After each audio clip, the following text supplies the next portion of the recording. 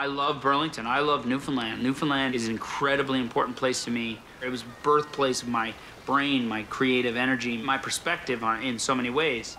But I can genuinely say it has nothing to do with mom directly. He could have gone out and I don't know, been a little shithead. He really could have. He could have gone, but I think she always reined him in and made him have gratitude and appreciation and kept him grounded. I don't believe in life after death. I don't believe in heaven. I don't believe in God. I don't believe in any of that. And my mom taught me that in a big way. A number of reasons.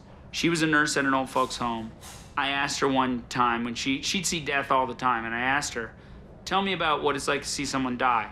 And she said, "It's basically like someone's home, and then they're not home anymore." like like my goal tonight when I went out there was I want to go out, I want to talk about God, I want to start bringing religion into it so I can try to work it out and see where it goes.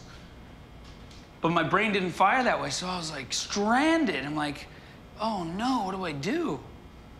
They like this dirty stuff.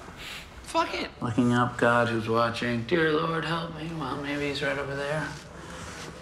God created man in his own image.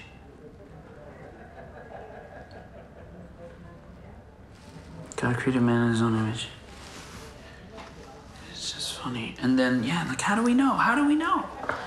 That actually leads into that old bit about, um, how do we know? I mean, you know, we think we know and then we don't. We make all these crazy decisions. Like, like if you think about the stories, God created man in his own image, they say. I had no idea God was a member of ZZ Top.